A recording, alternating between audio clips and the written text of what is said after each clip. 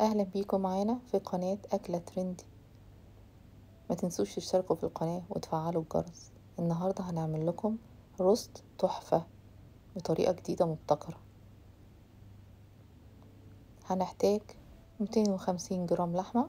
أنا هنا استخدمت لحمة من وش الفخدة وهبدأ أقطعها صغير زي الشاورما على قد ما أقدر تبقى رفيعة.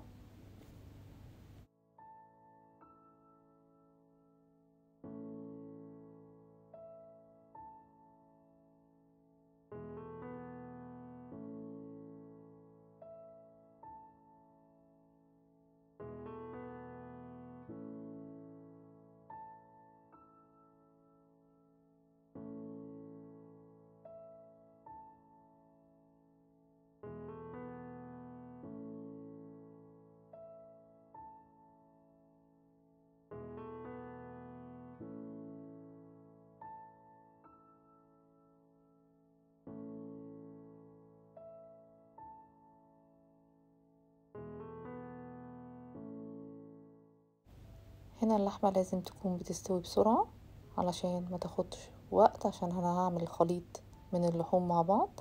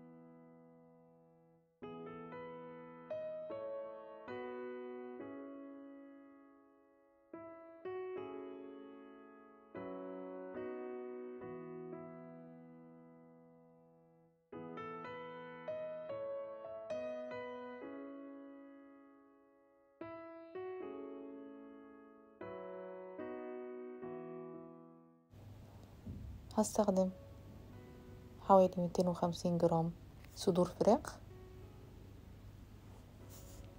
هنقطعها نفس الفكرة شرايح رفيعة خالص.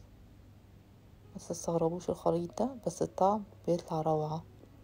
الرز طبعا ينفع يتاكل كده أو سندوتشات في أي وقت في الصبح أو بالليل مع العشاء. طعمه حلو قوي وطريقة مبتكرة جديدة. مختلفة عن كل الرز اللي بناكله.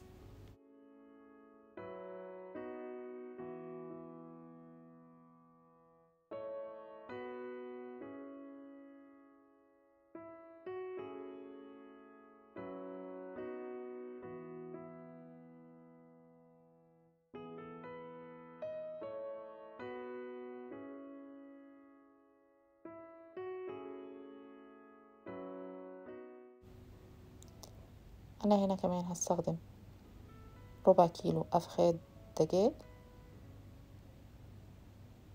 أو الدبابيس من غير العظم لأنها بيبقى فيها دهون بيبقى طعمها حلو في الرز قوي وهنقطعها نفس الفكرة.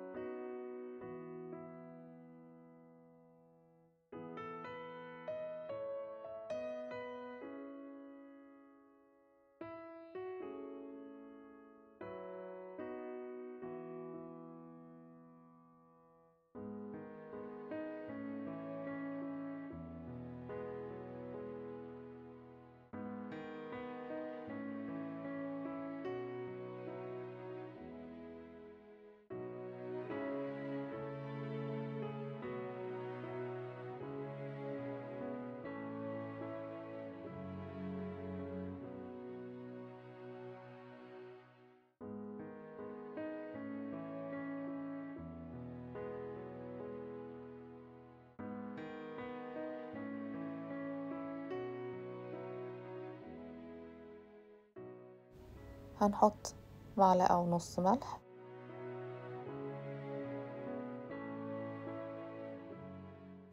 معلقة فلفل أسود.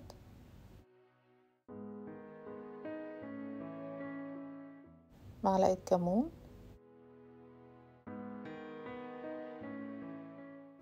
معلقتين ريحان.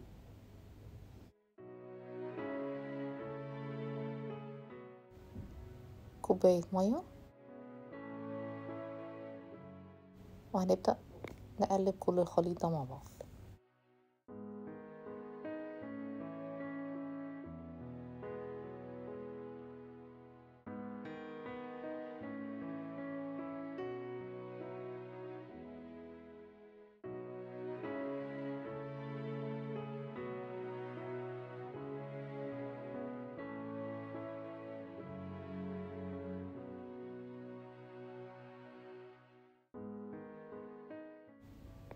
في الكبة هنبدأ نخلط الخليط كله مع بعضه بس عشان يختلط مش عشان نفرمه مش عاوزينه مفروم.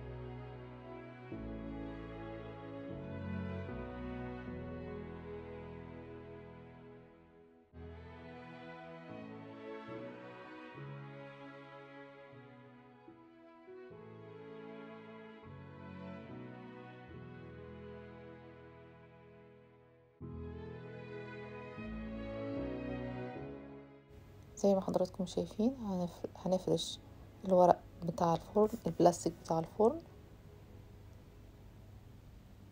وهنحط فيه الخليط البلاستيك ده الحراري اللي بنعمل فيه الفراخ المشوية.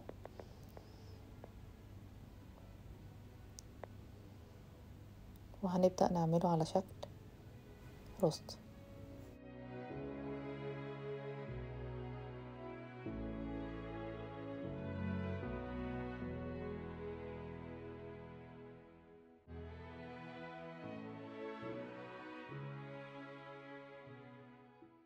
زي ما حضراتكم شايفين بنبدأ نلفه عشان يبقى شكله أسطواني معانا ونضغط عليه شوية مش كتير عشان ما يبقاش فيه هواء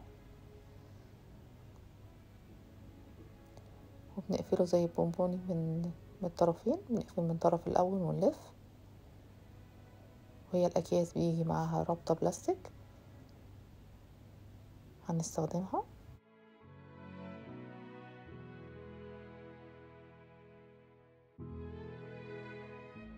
بنلف عكس بعض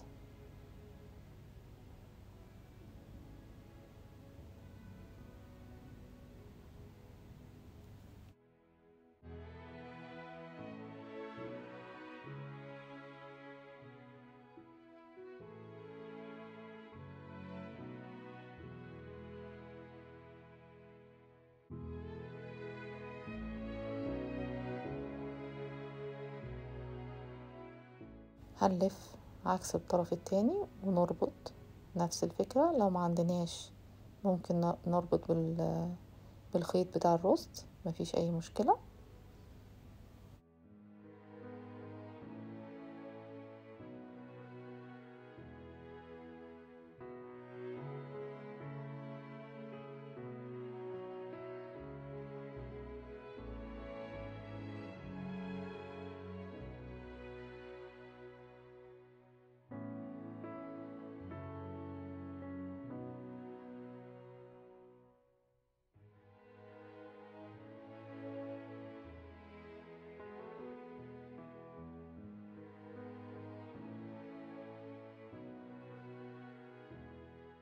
هنبدأ نلفه ببلاستيك كذا لفة عشان يبقى ماسك نفسه تبقى الاسطوانة ماسكة نفسها.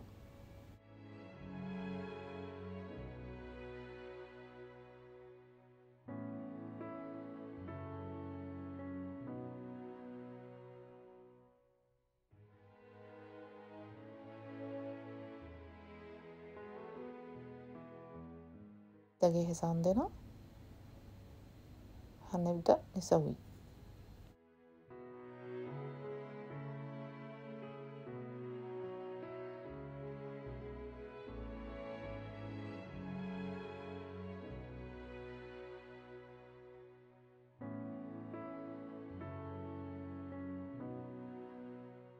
هنحطه في حلة على النار.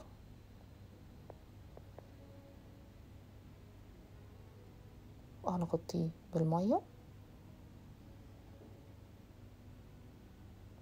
ونحطه على نار هادية على قد ما نقدر. بياخد حوالي أربعين دقيقة. وطبعا نبقى نقلبه من فترة لفترة. هنشوف شكله عامل إزاي.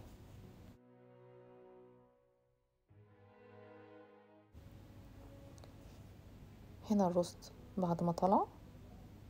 استوى خلاص. هنرشه ببابريكا. طبعا ده اختياري حسب اللي حضراتكم بتحبوه. ممكن ترشوه بأي أعشاب بتحبوها. ممكن بريحان ناشف بكزبرة ناشفة. أنا هنا هرشه بالبابريكا وهرشه بحبوب المستردة.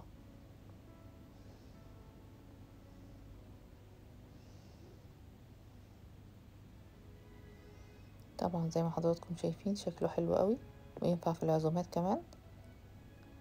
طبعا لازم تستنوا عليه كتير لحد ما يبرد خالص خالص وتبدأوا تقطعوه. متعملوش زيي لأن هو لسه سخن وبالهنا والشفا. أشوفكم في أكلة جديدة. مع السلامة.